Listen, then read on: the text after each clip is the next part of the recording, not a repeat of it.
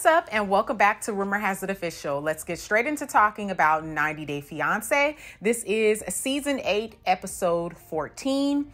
And the title of this episode is Into Your Arms. Before we get this video started, go ahead and give it a big thumbs up for me. I'm trying something different here. So, you're gonna see a series of different videos from me and they're all going to be under the individual couples. So, um, this video here is going to be only about Mike and Natalie. And then I will have more videos come out that will be just about Jovi and Yara, just all the different couples that are on the show. I wanted to do something different, also be able to push more content out for you guys by breaking the couples up instead of just grouping it into one recap. So let me know your thoughts by the end of all of this. If you like this type of series of me doing it this way, if not, like I said, this just gives me the opportunity to push more content out for you all. So, yeah, without rambling too much, let's go ahead and get straight into this couple here, Mike and Natalie. Now, Mike and Natalie have finally decided on a wedding day okay? And the wedding is approaching very fast, okay? He says that he is now looking forward to the wedding day.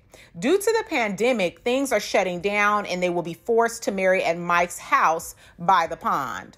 With just six days till their wedding, she has to call her mom and tell her mom that she, her mom won't be able to make it. She won't be able to get her mom to America to witness their wedding. She calls her mom. She's hysterically crying. And her, Natalie's mother tells her, Don't cry. It's okay. You know, she reassures her that everything is okay. And Natalie carries on crying, saying that it's so hard for her being out here in the woods and that she feels bad there.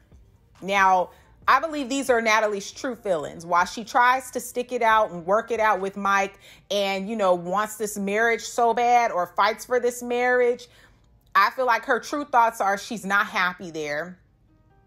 Mike doesn't make her happy.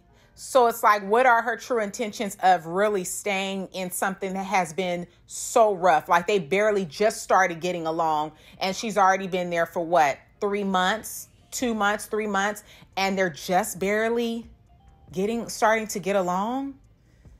So I'm not quite sure why Natalie wanted to move forward with marry Mike because I don't feel as though she is truly happy with him. And I'm very curious to know all of your thoughts on that. Washington State ended up setting a stay at home order, but tomorrow is their wedding day. Mike seems in better spirits, but I couldn't help but think maybe it has nothing to do with Natalie. And just maybe he's talking to someone else. Maybe his hairstylist? I don't know because the hairstylist sure did uh, make it a point to know all of his business. And she did somewhat in their last, when he got his last haircut, she was shooting her shot. So I don't know. Maybe he could possibly be talking to somebody else in Sequim, y'all. We don't know. Now, in this scene, Natalie tells her friend on a video call that she feels good about the wedding, but wishes that she could have had her family and friends by her side. She compares her first wedding to the wedding that she will have with Mike. The first wedding, she says they spent cr- a crazy amount of money. And when the producer poses the question, Do you want your wedding with Mike to be like your first? Natalie says no, because Mike can't afford it and she has already had that before, so she doesn't need it.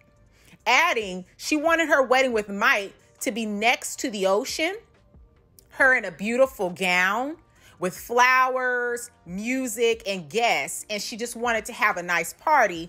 But the wedding with Mike is going to be by the pond. So for you to say that you don't need this extravagant wedding because you've already had that experience with your first wedding, I just thought it was like basically you do want that because you go in to describe you want a beautiful ground, you want guests, you want music, you want flowers. So you want a nice wedding and you're settling having a wedding by the pond because that's all you can because that's basically all that you all can do, especially during the pandemic. But I have a feeling that it wouldn't have been very extravagant even if there was no pandemic. I think all of this stuff worked in Mike's favor, the pandemic happening, because I feel like he was waiting for the right opportunity to send her home. Now, to summarize it all, I feel like it's not the wedding that she wanted, but she's settling for what Mike can offer. So Mike and Natalie sit down and eat whatever that junk was on a plate. it was something that he grilled outside and it just looked nasty. I'm just I'm just saying it looked real nasty. Real suspect. now in my head I'm thinking like where's all the sides? Like where's your rice, your veggies, you know, like it wasn't no sides, no rice, no vegetables, nothing, just straight up meat. They was just eating meat. And Natalie basically picked all over her food because she still had like pieces of it. I was like, what the crap is it, first of all? Like, it didn't look like beef. I, I don't know what it was. I, I really don't. But just looking at it and thinking about it is making me sick. So we're going to move on. but like I said, in this scene, they seem to be in a better place, laughing, joking, Mike giving her a lap dance. But the whole time I'm thinking, how long is this going to last? A bomb, we about to get dropped with a bomb because it's just a matter of time. Because my thing is, they were going through hell I mean, from the time she landed, okay, and then all of a sudden with the like a flip of the switch, now y'all just getting along and you just in such a great place. I knew that wasn't real. I wasn't buying that one bit. Comment down below your thoughts. So in the next scene, we have the wedding day. It is the wedding day. And instead of smiles, we hear sniffles. And then eventually we see Natalie in tears. Now, Natalie has three days until her visa expires and it doesn't look good, okay? Natalie in this scene calls her officiant, their officiant, and tells her that Mike called off the wedding the same day they were supposed to be getting married, okay?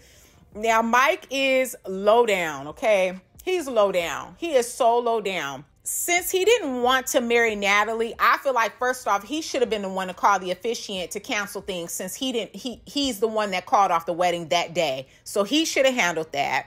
And also, I truly believe that Mike never checked back in since the time he left Ukraine and she threw that ring in his back. He never checked back into this relationship. I feel like he used her for free booty yeah, I'ma say it. He used her for free booty and to renew another, get on another season so that he could pay off that debt. Cause like I said, we don't see him talking nothing about the all this debt he was in, financial debt. We don't hear nothing else about it. So whatever they paid him to do another season with Natalie, he took that money and paid off that debt. Now, in this scene, the officiant is trying to calm Natalie down so that she can understand her clearly and what she's saying, what's even happening, what's going on.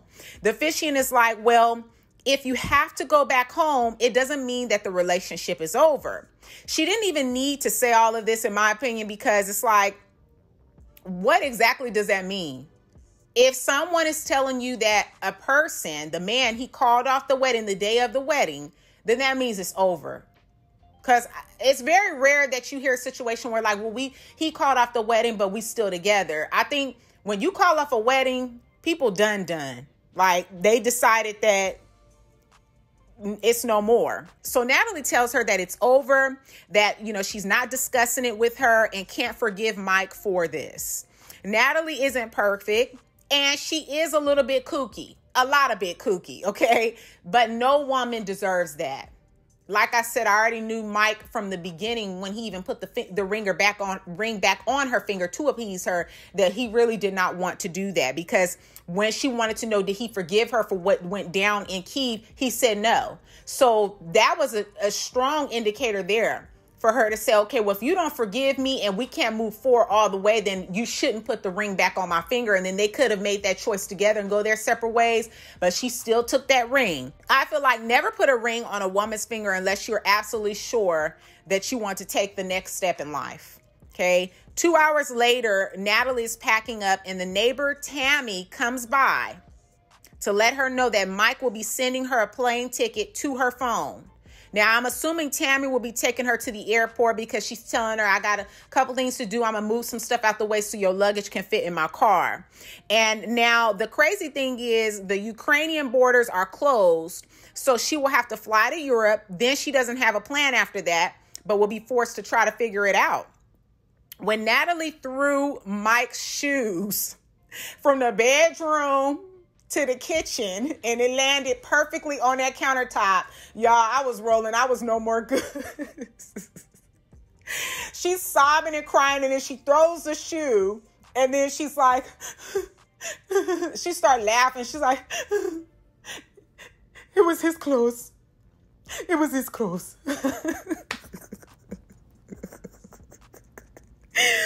Natalie hasn't informed her mom now on what in the world is going on about what has taken place because she has no plan and doesn't want her mom to worry. So I really thought that this was something, like I said, it was bound to happen. Okay. It was bound to happen for these couples, for this couple not to make it all the way through. And I feel like he was just trying to find the right time. He knew he knew doggone well he didn't want to be with Natalie no more. When she got to America, he knew then he didn't want to be with her. Like I said, I truly feel that he checked out long before and he did this to get some free booty.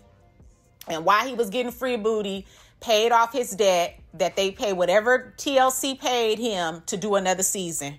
So that was what he did. Okay. He took advantage of this situation. So I'm really curious to know your thoughts on what you thought about 90 Day Fiance. This is season 8, episode 14, and the title of this episode is Into Your Arms. Comment down below your thoughts on Mike and Natalie. Give this video a big thumbs up if you haven't already. Subscribe and hit that bell so you'll be notified on the next time I make an upload. And if you're not receiving your post notifications on any of my uploads, go ahead and reset your notification settings and see if that helps.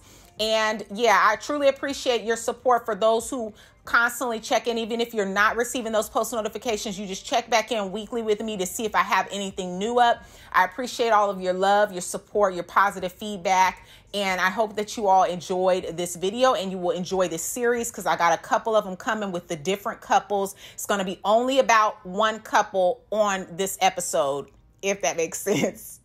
If I said that right and that makes sense. But yeah, so I hope that you guys enjoyed this video again, and I look forward to seeing you all in the next episode. Peace.